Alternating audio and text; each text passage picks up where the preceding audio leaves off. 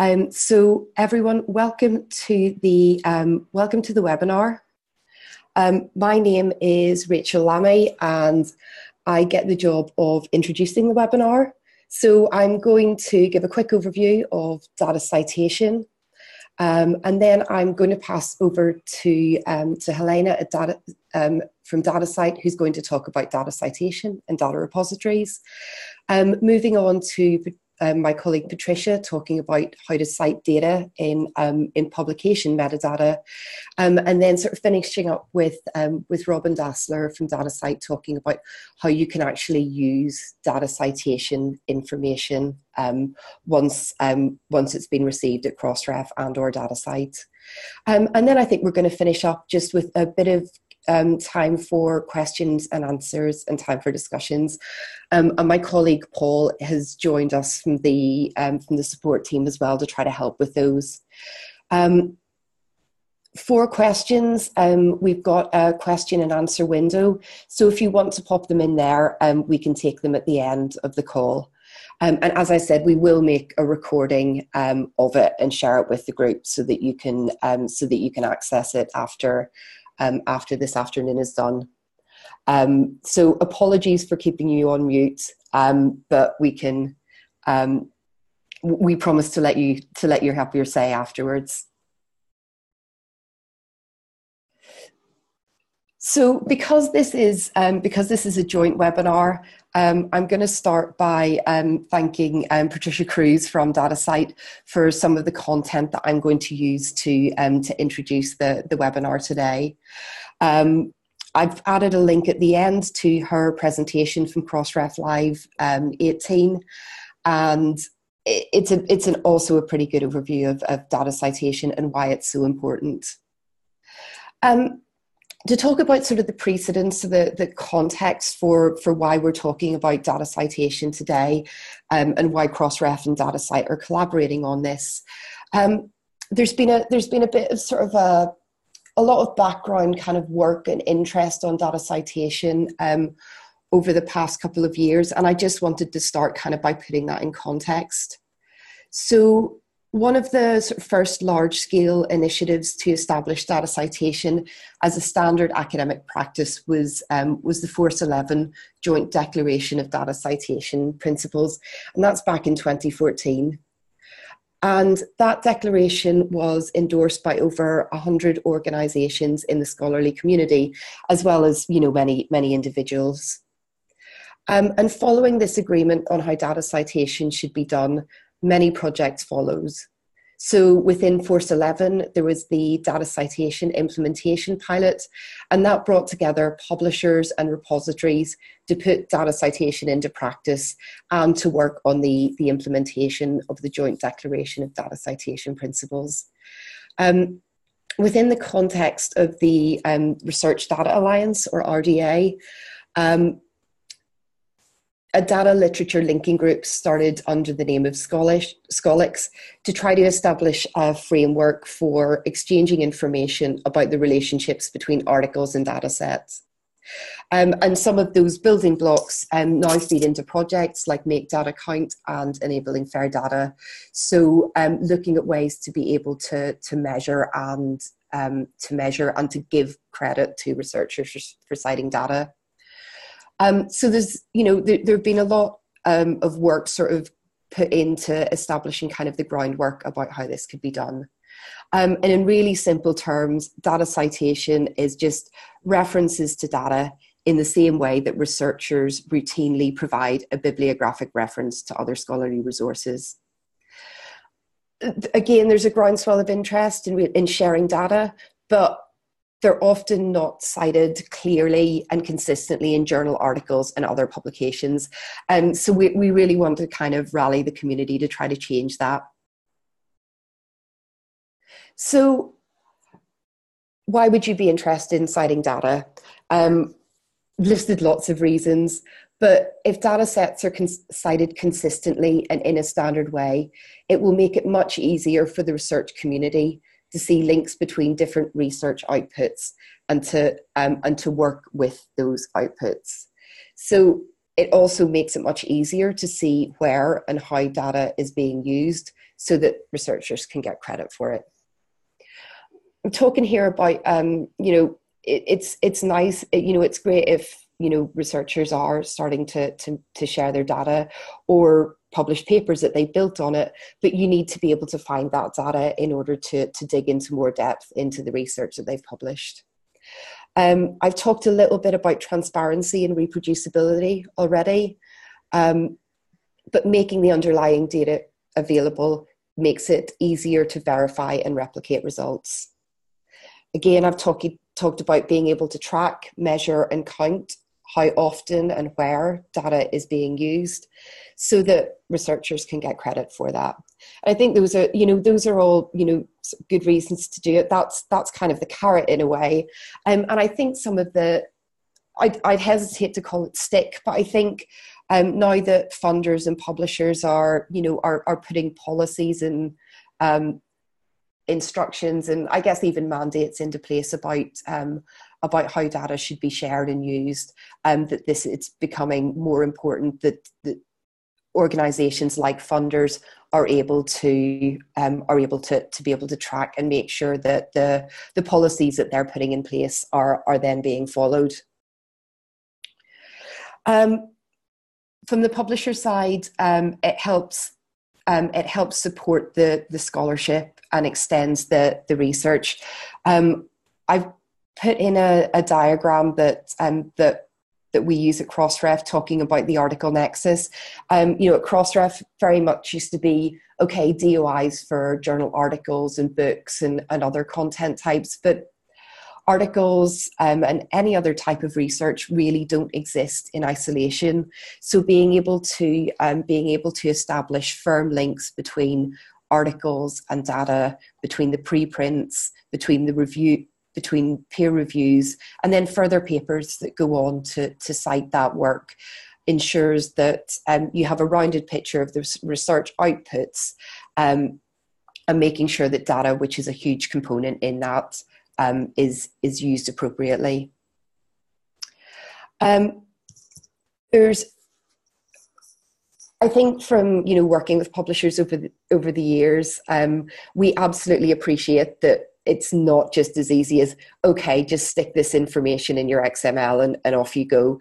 We we understand that you know there there are different steps that um, that publishers need to need to take um, in order to you know in order to get to a point where they're able to sort of reliably collect use publish and deposit information on links between data and articles. Um, i'm borrowing helena's wording um, on this but you know, there are certainly resources that can help um, publishers develop a data policy that includes data citation.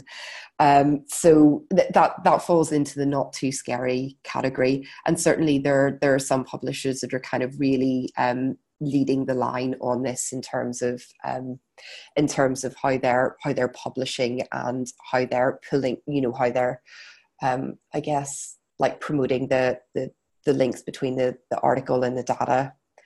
Um, and explain to art- authors how they should be, be citing data as well.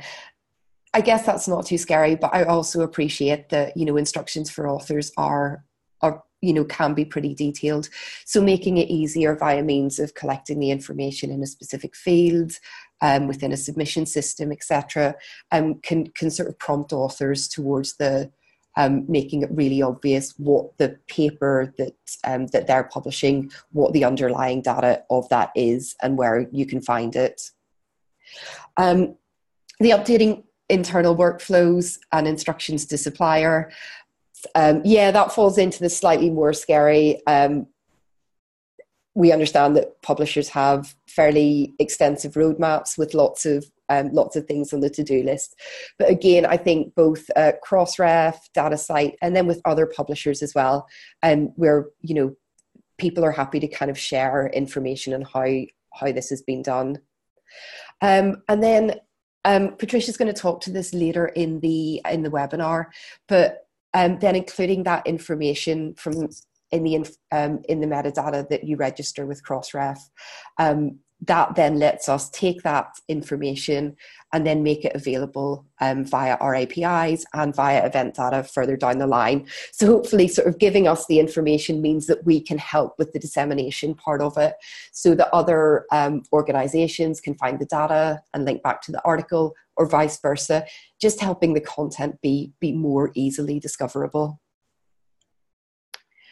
Um, Helena, can I pass on to you to talk about the um, the repository side? Yes, of course. Thank you. So I would like to talk about the role of data repositories in this because often when we talk about data citation, we talk about uh, references in articles to data sets. So what role can data repositories play in this? Um, and I think the first point I want to make is that the information uh, about an association between an article and a data set can come from both sides. So it can come from the publisher, but it can also come from a data repository. And maybe in an ideal world, we think that authors should always cite underlying data in their article, and therefore the publisher should always have the information. But I suppose right now that's not yet the case. Not all data sets are cited in articles, and also in some cases, the article is available before the dataset is made available. So in that case, the publisher can't know about it yet, but the data repository does. Now, we also know from conversations with data repositories and some of the previous workshops we've done on this that data citation and making these links available is very important to data repositories. It's something they're already doing a lot of work on. Um, and uh, Rachael and I did a blog post on this a while ago, so you can uh, find more extensive information there. Uh, but for example, ICPSR told us that data citation makes data visible to the research community. Without it, data cannot be accessed for reused or re reproduced for transparency. And GBIF noted that right now, data publisher efforts often risk going unnoticed, and the true impact of sharing data remains invisible. So I also wanted to talk about some of the steps that data repositories can take. Uh, and the first step is that they can ask researchers um, who post, upload, or publish um, data in their data repository to include associated publications in the dataset metadata so that they're aware of this relationship between um, the article and the dataset. And we also know that many repositories even do additional curation work um, to really actively discover these links and make these available. And so once a data repository knows about this, the next step is to include these links um, in the DataCite metadata deposit, and I'll show the instructions for that on the next slide. And one of the reasons why this is really important is if you do that, then publishers can access this information. So in cases um, where they're not yet aware of this relationship between the article and the data set. Uh, they still have the opportunity to link back uh, from the article to the data set, also retrospectively. Um, and in this case, uh, the, example you see on the slide is Pangaea, um, uh, a data repository in the earth and environmental sciences, uh, shared the information. Uh, they had about the link between an article and a data set, and now there's a link back from the article to the data set in Pangaea. So if we look at how you can actually include this in a metadata deposit, and you're looking now at a, at a postcard we developed together with Crossref. There's also a Crossref version which we're taking with us to conferences. So maybe you already have one at home, or maybe you'll come across one at the next conference you go to. Um, and what this shows is that DataCite members who already deposit metadata when they register their DOIs with DataCite can include three additional fields, and that's basically all that's needed to ensure this link becomes available. And these fields are related identifiers. So in this case, that would usually be the DOI of the article that the dataset is associated with. Um, then the related identifier type. So in most cases, a DOI and then the relation type and that allows you um, to specify what the relationship is between the data set and the article. So what we see in many cases is that the relationship is that the data set is referenced by the article or is supplement to the article, but um, the directionality can also be different and there are other relation types. Um, so that really depends on the actual relationship.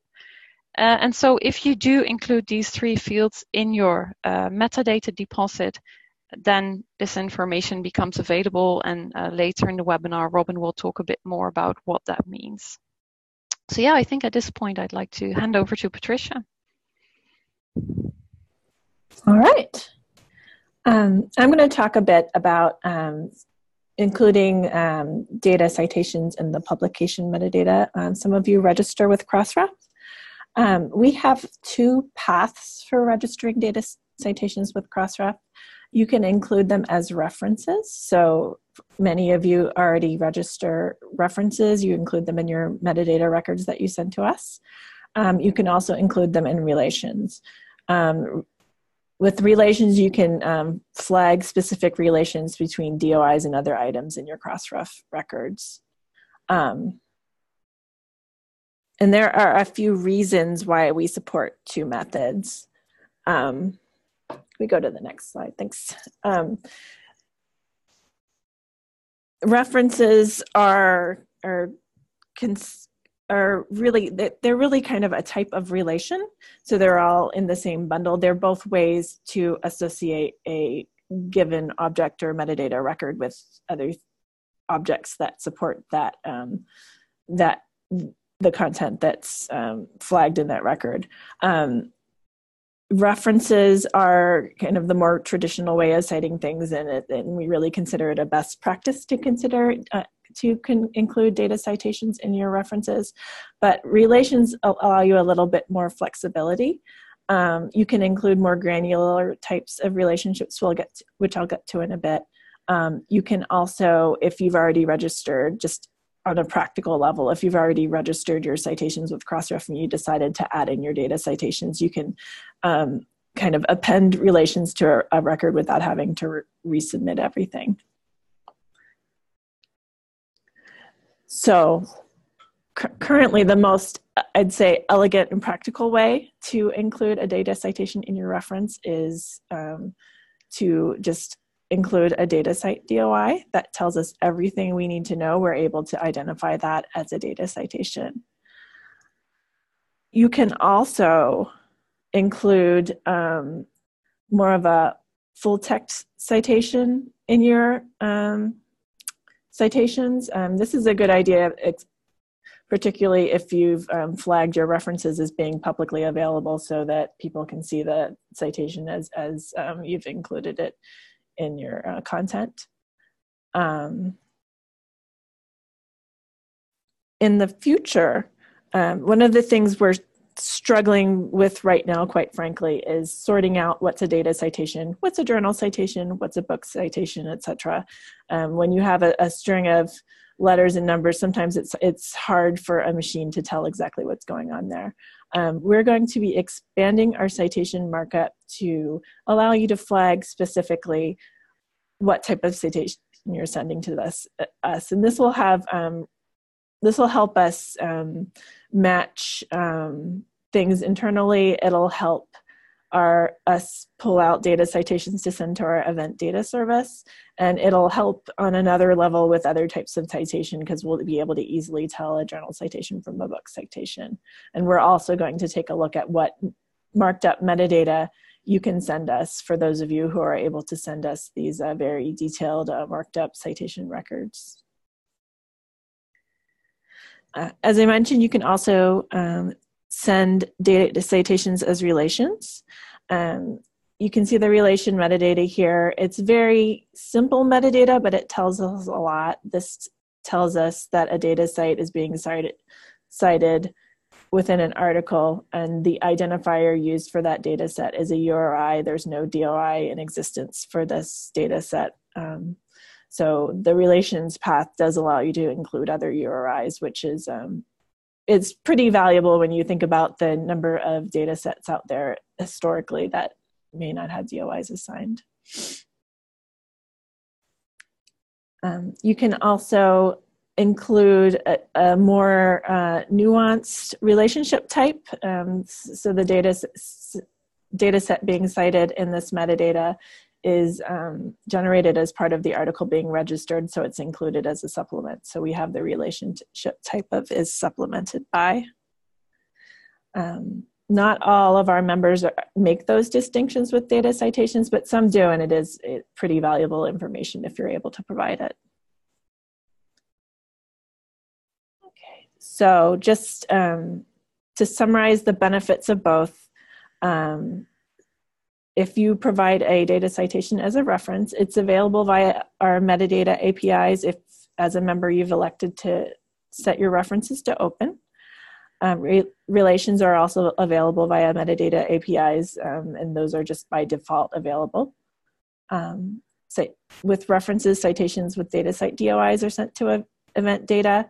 Um, relations will be sent to event data in the future, and that will include um, all of the identifiers supported within relations, which include DOIs and accession numbers and URIs. Um, in the future, for reference references, we're going to support the more nuanced uh, markup, which I think in the future will be the way to go for those of you who are um, able to mark up your um, citations that way. And, and then with relations, you can also supply the more nuanced references or is supplemented by relation type. Right, I think that sums it up. I think a lot of the publishers I've talked to are still in the very much in the planning stages for including data citations in the metadata they register with Crossref. So I encourage you if you do have any questions along the way to get in touch with us and we can help you think through some of these different paths and how and ultimately how you're going to send that metadata to Crossref. I think I'm ready to hand this over. Okay, thanks. Um, yes, so my part is all about how to get this information out. So we've heard a little bit from everybody else about why uh, data citation is a good ship to get on board and uh, why and how you can get your information into um, this event data service by feeding it through your usual Crossref and DataCite channels. And so my portion is really more about how to um, get this data out and sort of where we see this going in the future. So I have here uh, three steps for enabling data data citations, an overly simplified version. Um, so you can include a reference to a data set in your article metadata as you're submitting things to Crossref as a publisher, or you can include a reference to an article um, in your data set metadata that you submit uh, as a DataCite data repository member, um, and any other type of related, uh, relations between other items as well. Then these references um, between Crossref DOIs and DataCite DOIs or between two different types of DataCite DOIs or whatever are extracted from this metadata um, by Crossref and DataCite and we store this in the shared event data service and we make it available through our APIs and I'll talk a little bit more about those in a second. Um, and then where we see this going then is since this stuff is in an external service that is shared between the two of us, uh, then we can create new services on top of this and create updates of our existing services, such as uh, our various search interfaces um, that integrate with this event data information and can make um, better use of it a little more easily. We can also add a fourth step on top of this for sort of the, the more distant future as we get this stuff working out. Uh, we want to be able to work with the bibliometrics community in the future to better understand the data citation data that's provided via event data um, and help to develop uh, data metrics around this kind of stuff. Because at the moment, the kind of data we're providing is really just displaying what people have put in, displaying the data that is there. But as you'll see as we talk a little bit about this, some of this data is kind of currently squishy because it's early days. And so we'll see how we can uh, make this into something more meaningful in the future. So a little bit about the event data service. We've sort of been hinting about this as throughout the presentation. This is a service that is being jointly developed uh, by Crossref and DataCite to capture references, mentions, and other things that we refer to as events about DOIs um, that are things that are not uh, usually explicitly captured in, uh, in, in the metadata about the DOI itself. So this can include references between uh, different DOI registration agencies, um, and I should note that we use event as a very broad term. Um, so this does include uh, data citations, which is the uh, focus of this particular webinar today. But this also includes many other things, such as social media mentions, um, usage statistics. There are a lot of other things we could include in event data. Um, so really, data citations is a small subset of those events, but there's plenty of other things we can include in the event data service as well. Uh, we're basically trying to provide a central place uh, where we can deposit and then later extract information about what your DOIs get up to in the wild once you've once you've released them to the world.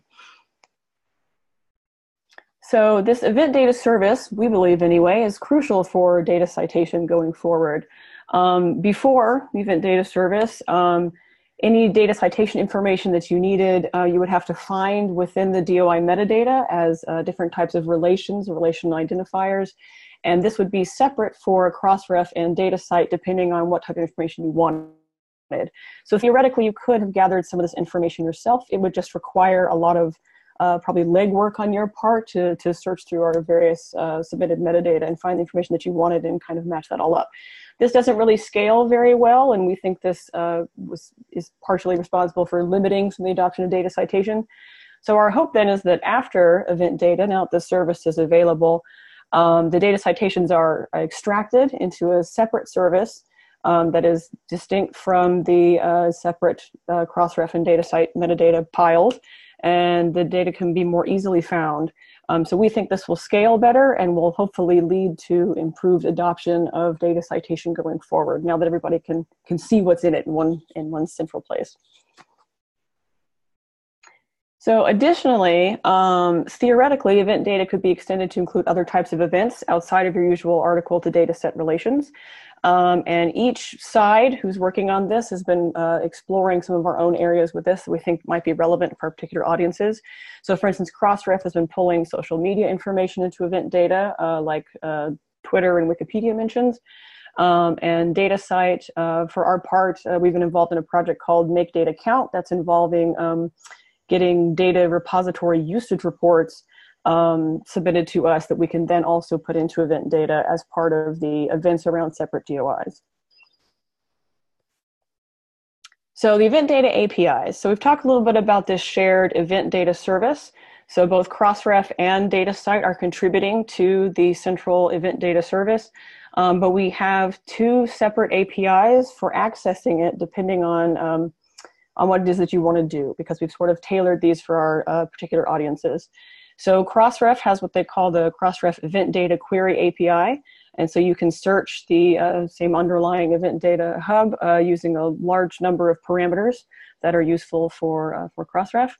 And uh, on the DataCite side, we have included the event data information in our newly updated REST API. Um, so we can, you can use this to query event data for uh, items that include a DataCite DOI, um, and uh, other we've also included a basic DOI metadata and some additional aggregations into this. And there are links on the slide for uh, the documentation for each API, so you can explore that and see what kinds of things might be best for you. Um, this is also uh, Scholix compatible, so data citations in event data are using the Scholix metadata standard.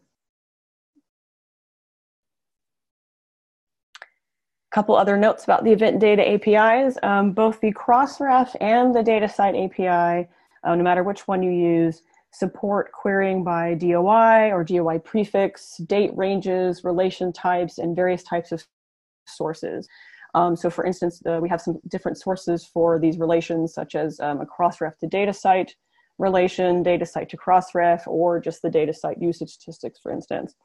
Um, and additionally, as I, am uh, because DataCite API includes additional metadata, um, you can also filter by content type through the DataCite API as well. So I have a couple of, of quick examples for you guys. Um, the first one is an example is if you had queried the DataCite REST API. Um, and I've truncated this a little bit. You get additional information depending on what you searched for um, but I've kind of cut it down as the, the bare basics. So you see each event in here. This is the result for a particular event. Uh, each event has an event ID um, and numerous attributes. Uh, for each of these, there is at least a subject ID and an object ID. Um, so that is the subject of the relation and the object of the relation. Um, it tells you the source of where this came from. So this is a DataCite to Crossref connection. Um, it tells you the particular relation type ID. In this case, uh, the submitter of this uh, relation in the metadata used the relation type cites. and it tells you when this particular event occurred. um, which is typically something like um, uh, when someone submitted the metadata record that had this information in it. So in this particular example, um, the idea would be that the, the DOI with the subject ID cites the DOI with the object ID, and that's how this would look. For the Crossref API, the, it's relatively similar. Um, there's slightly different information. The structure is a little bit different, but it still has uh, some of the, uh, the basic information as you saw on the DataCite version. Um, so this is a slightly different example. So in this one, you'll see there is still the, the subject ID uh, and the object ID here. They're in a slightly different order. Um, it also tells you when this occurred. It gives you the source ID of, of Crossref, and it tells you that this particular relation type is references. So again, the, the DOI in the subject ID references the, uh, the object in the object ID. And just from a quick peek, you can see that this is a, a Zenodo object ID in this one. So it's hard to tell what that would be, but that'd be another kind of repository item. Um, there are other things that you can do with the event data API. You can uh, search for things by prefix and do some other interesting things. Um, but those are just some basic examples just to get, uh, get a general sense of what kinds of basic information you'll be able to find. If you dig through the guides we linked to earlier, you'll be able to uh, discover some other relations you can do and other types of aggregations and examples you can work with. So where do we want to go with this in the future? Um, the idea here is really to start building other services based on event data. Um, so with, uh, within Crossref and DataCite, we are looking at integrating uh, information from event data into our other services, um, such as you know DOI searches. Um, in DataCite, we also included uh, we could include some information in some of our other services like Fabrica, possibly. Um, the other idea would be that uh, other organizations could potentially build on this as well. So third parties could build services based on the information that is provided by event data. So it would be possible also. And then um, there are other external projects that are that DataCite and Crossref are both involved in that would make use of this information as well. Um, so for instance, uh, DataCite and Crossref, among some other partners, are participating in a project funded by the European Commission um, to create what they're calling the PID graph. And this type of project would use event data to help show the relations between different types of persistent identifiers for articles, data, people, and all kinds of other things. So this is kind of where we see this going in the future, is being able to build services on top of the information that is contained within event data. And that's it for my part. I guess I'll turn it over to, to Rachael now to handle the questions. Yes, that is okay. my that's that's the job that I signed up for. Um, but no, thanks, Rob, and that was um, that was really useful, and to Helena and Patricia as well. Um, as anyone who's run a, a collaborative webinar knows, um, these things are um, these things are you know you know these things are have different levels of difficulty to pull together but this one was was actually fairly straightforward. So i can see that um, we've had some questions come in via the um, via the chat window. So let me try to pull a couple of those out. Um, so i'm going to start from the top. Um, like one of the questions came in and um, to ask with the two different types of um, the two different types of ways that you can cite um, that you can add data citations to crossref um, relationships and in the references. Um, we've got a question um, if if you could supply both if a publisher were interested in doing so. Um, patricia do you want to take that? Sure. Um, yeah so if there's no need to supply both obviously but if you want to there's also no harm in it if it, it works for your workflow. Um, we've had that question before and we've we've thought about it for a while and and i think that it is i think there's when we're sending the data out to event data it'll be sent twice because we don't really won't do any interpretation on our end but people taking in that data will be doing interpretation. So i, I I'd basically say no harm done if it makes things easier for you to supply both. Cool, thank you. Um, I can see that there's another um, there's another question in the chat window. Um, Helena and Anne, I think you you guys are probably going back and forward on that. Um, so I think we'll probably leave it for sort of a direct chat. Um, one question's come in um, asking um, from an organisation um, asking how they can make their DataCite DOIs findable in popular search engines like um, like Google Scholar. I guess it's Helena. Do you want to do you want to take that?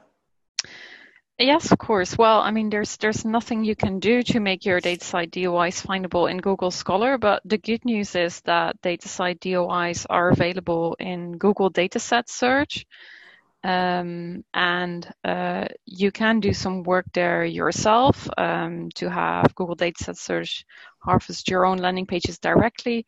But even if that's not the case, then um, just because you're using DataCite DOIs, um, these datasets will be available in Google Dataset Search as well. And if we can help you with anything around that, feel free to reach out. Cool, thanks both. Um, Paul, I also know has been dealing with um, some questions behind the scenes. Um, said if there are any more you can pop the questions into the chat window or into the little q&a window that um, that's provided via um, via the zoom um, interface. Um, i've also if and while you're thinking of questions, um, I've also just provided a slide with um, some links to um, to some of the things that we've referenced um, in the in the webinar today, and we'll send those out with the um, we'll send those out as part of sort of the package um, to attendees, so that you can you can grab those and and do some further reading if if you'd like. So I'm going to give it about um, about a minute more just to see if any more questions come in, um, and if not, you if you don't have any questions, if we've answered them all, which I'm sure we have, um, then you're you're free to get on with your your morning, afternoon, or evening.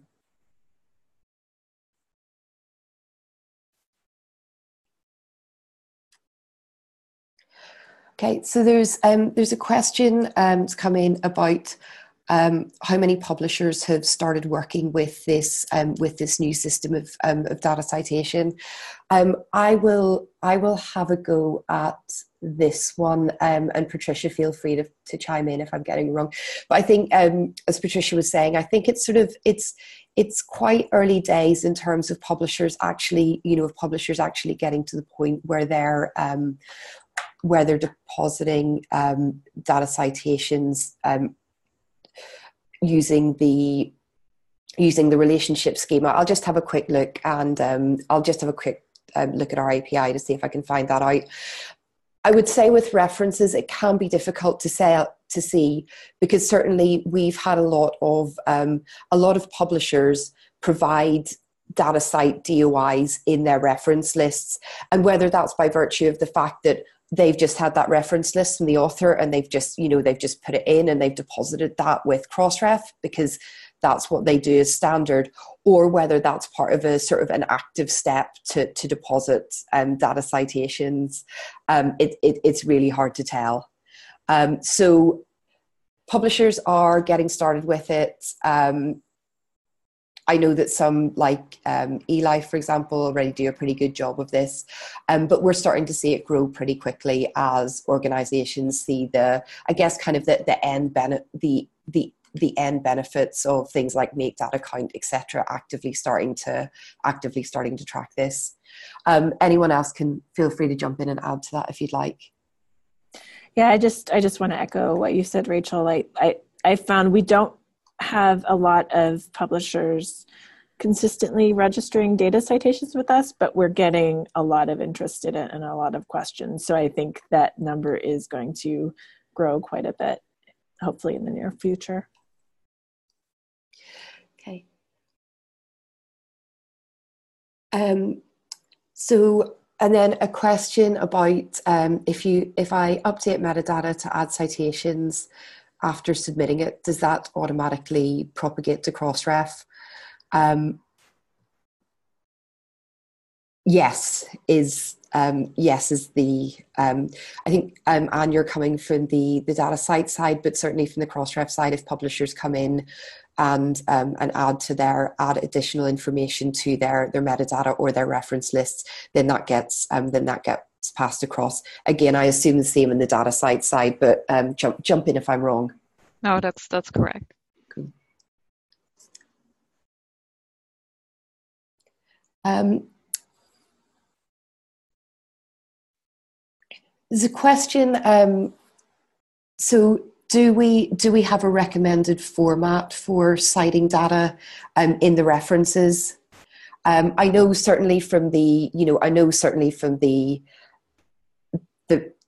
the metadata side, like it, it's um, from the Crossref metadata side, it, it is it's really neat and nice um, just to get um, to be able to to be able to have the um, just the um, the the DataCite DOI in the in the, the, metadata deposited with with Crossref.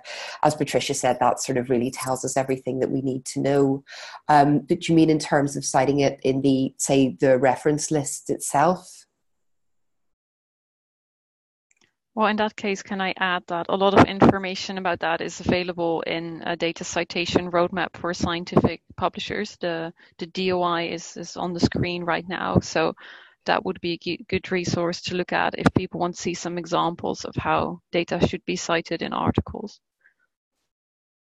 And a quick question um, Are there initiatives dealing with the issue of academic credit for data citation?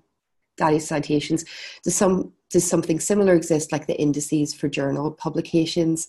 Um, again, I would say that it's sort of fairly early days with this, but there there are initiatives like. Um, so I think the first step with this is um, the first step with this is actually getting the information to a point where we can reliably track and see data citations.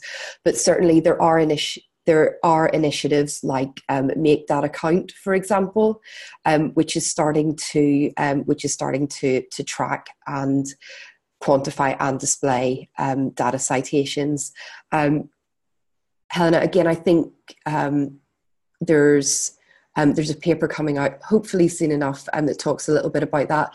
Um, but you can go to the Make Data Count website and read a little bit about the read about the that initiative and what they're trying to do in order to try to kind of track um, display um, and display data citations to to make sure that um, that those are visible and researchers can get credit for them. But I think in a way the answer is yes, there are initiatives, but I think there are no real answers yet. So I think it's it's a it's a topic that's of great interest right now and many people are thinking about it. And there are some initiatives that are starting to count, such as Make Data Count, but there's also still a lot of bibliometrics work needed to really decide what meaningful data metrics will look like. So I think for data, we're not at that point yet, but there's a lot of work happening. Yeah. Um, and is is there is there a list of data repositories that support data citations and data sets to articles? Um, again, um, Helena, I wonder if this is kind of similar to the. I get. I guess it's something that you'd be able to see. Um, maybe there's not a list of data repositories, but you could see within using the um, you could see using the DataCite API if there are um, which which data repositories are sort of actively linking to articles. Yes, exactly. In, in event data, we can see which which data repositories are are including that information and making that information available. Um, and maybe this is for everyone, do we see the element publication type brackets data becoming more prevalent in the style guides of publishers? Um, I, I, I, I think so, and I hope so, and I think that's sort of part of the. Um, yeah, I, I, I think so, and I think it is part of, as you said, just um, like one of the kind of roadmap steps of just making it really clear to to authors how they can how they can sort of explicitly pull out citations to data so that they're as easy to work with as possible.